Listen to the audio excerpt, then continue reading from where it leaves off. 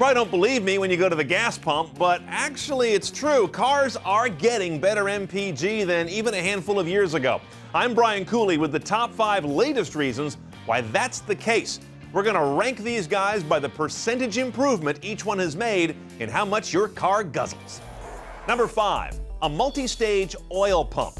Total savings about 1%. Yeah, we're starting small here. The idea here is an oil pump that only pumps as much oil as the engine needs. Radical idea because most oil pumps today are dumb and they just pump more oil as the engine revs higher, not as it needs more oil and lubrication.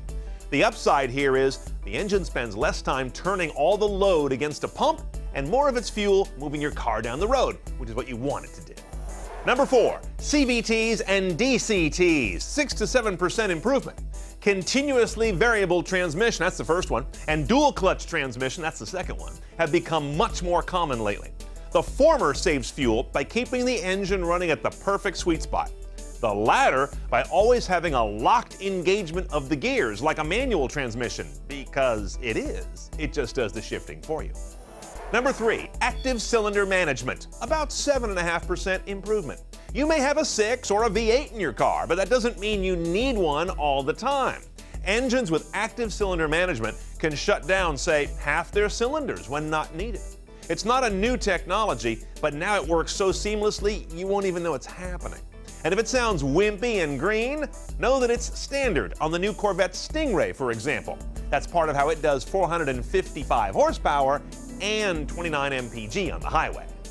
Number two, brake regeneration, about an 8% savings. Hybrids have always done this, but they no longer own the technology. Many conventional gas engine BMWs, for example, today recharge their battery by harnessing the kinetic energy of the car when it's coasting or braking instead of always driving this draggy alternator with a belt. Less drag on the engine means better efficiency.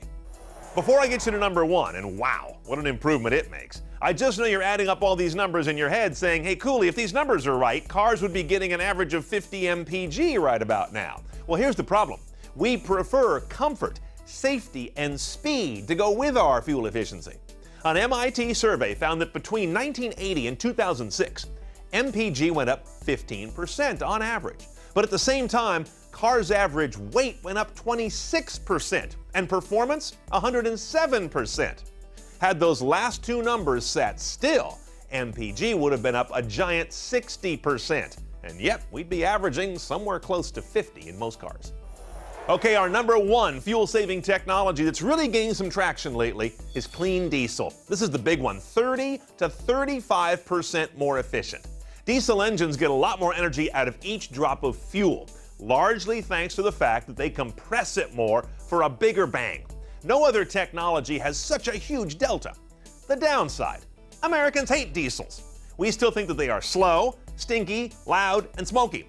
I've driven a lot of the latest ones. They are none of those things, and you probably still don't care. To stay on top of more fuel efficient technologies as they come down the road and all other tech around cars, go to cnetoncars.com. I'm Brian Cooley. Thanks for watching.